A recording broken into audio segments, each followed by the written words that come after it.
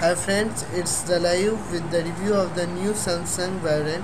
Yes, there are some rumors about the Samsung Vibrant that it will be a member of the Samsung Galaxy S.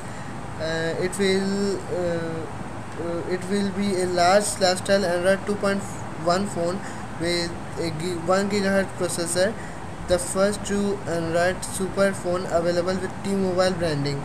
Samsung has said it's trying to introduce Galaxy S phones on all four major US carriers and the Vibrant will be the second.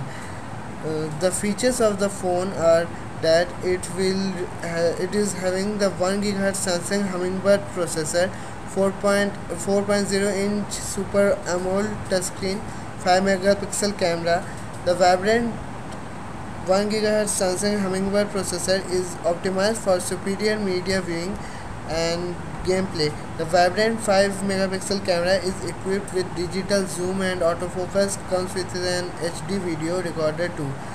The release date will be announced in the near future. Mm, there are some rumors that uh, it will come with QWERTY or any new features that Samsung will add to this phone. So for the next update of the Samsung Vibrant stay tuned. Please subscribe rate comment and yeah that's all. Thanks for watching